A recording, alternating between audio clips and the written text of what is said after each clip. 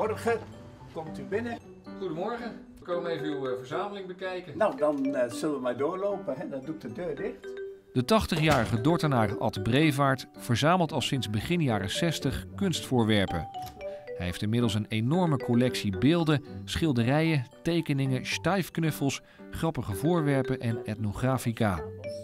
Zijn eerste etnografische masker kocht hij in 1967. Kijk, dat is daarboven van de bouwleesstam, daar in het hoekje daarboven. Dat, eh, ja, dat, dat werd ik...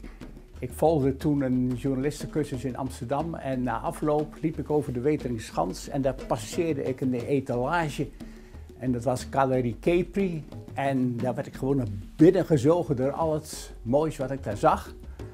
En eh, ja, dat was eh Lode van Gent heette die meneer, die was standaards en als hobby had hij dan die galerie. De maskers en beelden hebben volgens Brevaart een krachtige uitstraling.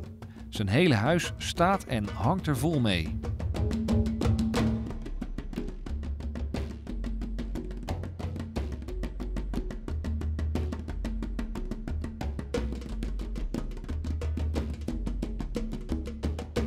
Is ook van de bouwlei. Prachtig. Zie je?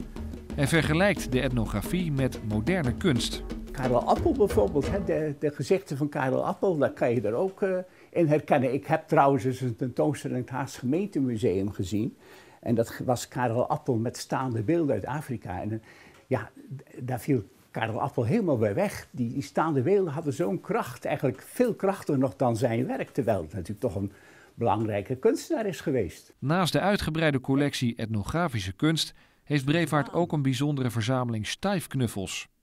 Hij waardeert deze knuffels vanwege hun mooie vormen en omdat hij ze heel natuurgetrouw vindt. Hij gaat er zelfs voor naar veilingen. Ik kom binnen en de veilingmeester steekt de giraf op. Deze giraf. Nou, ik steek gauw mijn, mijn vinger op en heb deze giraf. Maar dat bleek niet mijn giraf te zijn die ik had uitgekozen. Die kwam een tijdje later. Die heb ik toen ook gekocht. En dan moet je zien. Het zijn net mensen. Ze zijn allebei geboren uit de buik van hun moeder, zoals het met ons ook het geval is. En deze heeft waarschijnlijk in een vitrine gestaan. Daar is weinig mee gebeurd, een heel beschermd leven geleid. En deze, die is helemaal verschoten, geknuffeld, gewassen, weer geknuffeld. En nou zie je het grote eh, verschil tussen die twee. Terwijl ze eigenlijk uit hetzelfde nest komen. En dat zie je bij mensen natuurlijk ook. De een maakt weinig mee. Die komt ongeschonden door het leven. En de ander, die maakt zoveel mee. En dan vraag je af, wat is nou het belangrijkste? Hè? Want de een wordt soms te veel geknuffeld en de ander te weinig. Kijk, en dan vind ik het zo leuk ik ze allebei heb. Het is veel leuker dan ik er maar één van de twee had gehad. Als ik gelijk deze had gekocht, dan was ik hier nooit meer aan toegekomen. Maar door het toeval heb ik nu de combinatie. Brevaart heeft ook veel werk van Dordtse kunstenaars en was bestuurslid van tekengenootschap Pictura. Waarom Brevaart verzamelt is moeilijk te zeggen, vindt hij zelf. Ja, waarom? God, als we alles wisten waarom iets er was, dan zou het allemaal wat simpeler zijn. Maar minder spannend misschien. Maar voordat hij zijn collectie uitbreidt met een nieuw kunstvoorwerp, moet het wel aan een aantal criteria voldoen. Het moet een- een uitstraling hebben, het moet kracht hebben, het moet ontroeren, het moet een glimlach oproepen. Ik, je zou kunnen zeggen dat alles met een glimlach is verzameld. Een voorbeeld hiervan is deze olifant, gemaakt door een student van de Willem de Koning Academie. Brevaart kocht deze zogenoemde huishoudhulp in de galerie van tv-presentator en kunsthandelaar Victor de Koning. De stof doe ik erachteraan, hè? Zo kan die stoffen. Vandaar de huishoudhulp. Ja. Ik vond hem zo geestig gemaakt. En eh, ja, ik vond het gewoon leuk. Is voor kinderen natuurlijk ook erg leuk, hè? En we zijn allemaal toch min of meer een groot kind. Tenminste, ik zie mezelf wel eh, een beetje in die, in die richting. Ik kan nog genieten van hele simpele dingen. Dat komt mijn vader ook. Die was raadslid hier. En eens per jaar gingen ze varen met de veerdienst. En dan kregen ze aan, aan boord ettensoep. En daar konden ze zich dagen op verheugen. En wat is dit? Dat is een vogelkootje. Ehm, als kind had ik dat al. Iets wat geluid maakt, wat beweegt. Bepaalde geuren zijn ook zeer belangrijk. die onthoud je ook. Hè. Kijk, nou, dit is het vogelkootje. En die heeft echt, dat is een echt vogeltje. En dan moet je eens horen. Het is niet een vogeltje met zo één geluid, maar het is echt. Nou, kinderen vinden dat geweldig, hè? Kijk, hier heb je hem, ziet? U heeft van alles uh, naslagwerk. Nee, lang niet van alles, maar bij zo'n officiële antiquaire ja, gaat dat zo. Vogelkooi met mechanische vogel, met mooie zang, Frankrijk, circa 1910. In het huis van Ad Brevaart is overal wel iets van zijn verzameling te vinden. De kasten staan vol met etnografica, net als de kachel en de tafels. Maar ook in de kelder en op zolder zijn beelden te vinden. Als je meer ruimte hebt, waar je ook meer. Dat is een masker van de Jaka-stam. Dat gaat ook mee met een buffel daaronder. En dan gaan jongens, als ze in de puberteit komen, dan gaan ze onder leiding van ouderen, oudere mannen de boes-boes in en dan maken ze maskers. En dat is een teken dat ze in staat zijn om nageslacht te verwekken. En je ziet hier dus ook, daaronderaan steken van kracht dat buffel. En daarboven een vrouwenfiguur met borsten en er komt een kinderkopje uit je vagina. Kan je het zien? Oh ja. Nou ja, hier staat nog zoveel. Maar ja, dit staat nog een beetje in de weg. Ook in de hal zijn kunstvoorwerpen te vinden. En in het trapgat. Kijk, dan heb je daar twee van, dat is die verneinung, de ontkenning. Nou, daar zit de wereld vol mee. Niks zeggen, heb het niet geweten. Van Michael Winkel. En dat is die nachtspaziergang, dat andere. Een man die nog even zijn hondje uitlaat, wat dat moet gebeuren. Het regent buiten, zijn paraplu opdoet en nog even de hond uitlaat. Draaiorgeltje.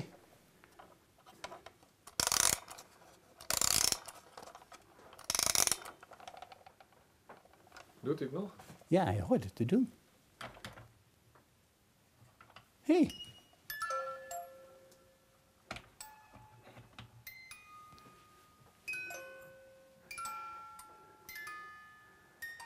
En de radio? De radio die staat hier, ja. Dit staat allemaal, dit moet allemaal naar het museum, hè, wat hier staat. Kijk, dat is een oude kinderstoel, een mooi masker. En dat is een designstoel uit, uit uh, Italië. Even kijken hoor. Ook altijd even.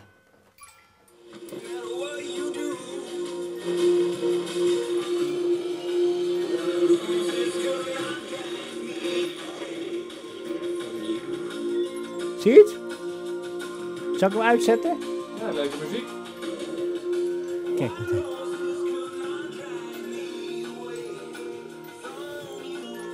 Kijk, en daar staat het portret van een Afrikaanse asielzoeker. Kan je dat zien daar? Hier, hè? En dat is in combinatie met Maconde masker erg mooi. Ad Brevaart werd 80 jaar geleden geboren in dit huis, waar hij nog steeds woont. Na het overlijden van zijn ouders is hij er gebleven. Zijn brede interesse is volgens hem een familietrekje. Zijn ouders vonden niets te gek en ze hadden al snel door dat de jonge Ad gevoel had voor vorm, schoonheid en kleur. En ze liet hem het huis opnieuw inrichten. Mijn vader was kleurenblind, maar die moest de rekeningen betalen. En dat zei hij dan met de nodige humor, zo van, uh, nou dat is ook lollig. Uh, ik mag alleen maar betalen en ik heb niks in te brengen. En dan zei mijn moeder, Jan, je weet toch, jij bent kleurenblind. Nou, zei hij dan, moet je daarvoor dubbel gestraft worden. Nou, zeiden wij, weet je wat, je zit altijd zo lang op het toilet, dan mag jij daar de kleuren bepalen. Dan moet je straks maar eens gaan kijken. Dat is altijd nog in de originele kleur. Het is een keer opnieuw geschilderd, maar in dezelfde kleuren. En dat noemde hij dan een kleurenkabinet. En toen de familie hier kwam en alles uh, vernield was en geschilderd en een nieuw vloerkleed, dan zei hij, kom eens kijken, kom eens kijken. En dan nam hij ze mee naar het toilet om zijn kleurenkabinet te tonen. Brevaart maakte in zijn leven veel reizen, onder meer naar Afrika, de Himalaya, Scandinavië, het Midden-Oosten en Zuid-Amerika. U heeft het zelfs in de keuken. Ja, en dat ben ik in 1980, Machu Picchu in Peru, met mijn Mao-pet op. En dat zijn zo'n reclamebord voor kappers, hè, die zijn daar heel in, in Afrika. Dan kan je dus uitzoeken, uit, aanwijzen welk kapsel je wil hebben. Maar je had nog geen baard toen. Nee, ja, die is daar begonnen. Die baard is, die, ik kwam terug in oktober en toen ging ik naar Kerstkamp, want het zou Sinterklaas worden. En toen zei ik, die, die baard moet nog weg. Hij zei, joh, laat, dat vult leuk, laat zitten. Nou, en vanaf dat jaar ben ik die baard gaan dragen. Hoewel Brevard veel heeft gereisd, kocht hij de kunstvoorwerpen vooral in Nederland. Hiervoor bezocht en bezoekt hij nog steeds diverse galeries.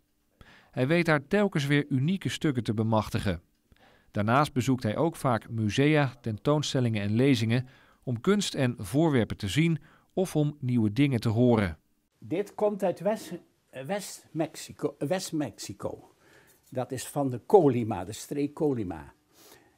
Dat komt uit een grafkelder. Men geloofde dus in een voortbestaan na de dood. Dus als die lijken begraven werden in, die, in zo'n grafkelder, ja, dan moesten ze, men moest toch af en toe wat kunnen drinken. En dit werd dan gevuld met, met drank. Dit is van zeg maar 100 voor Christus tot 300 na Christus. Nou, en dan moet je zien. Vraag je nou aan mensen van boven de 60, wat zie je hierin? Dan zegt men niet gauw iets, want men is bang uh, iets fouts te zeggen. Maar vraag je het aan kinderen, dan zeggen ze gelijk een zeehond of een slak. Nou, dat is toch Henri Moore, dat is gewoon moderne kunst. Daar staat de monnik en de monnik die luidt dan de klok en dan roept hij op als het ware tot gebed en overpeinzing.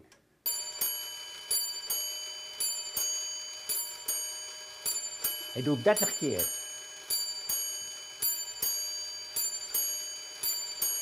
26. Zie je het? Maar 6 voor half 12, dan een rare tijd. Ja, het is natuurlijk een hele oude klok. Hè. Is, hij komt uit Zuid-Duitsland. Dus misschien uh, ja, klopt dat niet helemaal precies. Eerst deed hij om 11 uur. Dat, ik heb daar ook geen verstand van, maar als hij het maar doet.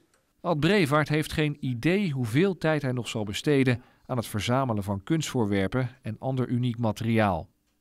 Hij kan elk moment weer enthousiast raken over nieuwe etnografische beelden, schilderijen of rariteiten.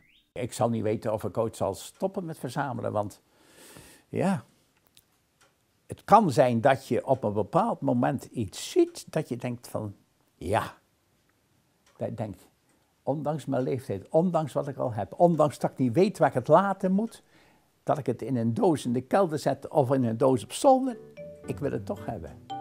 Het is een verslaving. Het is een soort van verslaving. Ik hoop niet, niet ziekelijk, maar het is, het is het een beetje. Maar een mooie verslaving. Ja, dat vind je zelf altijd natuurlijk. Hè?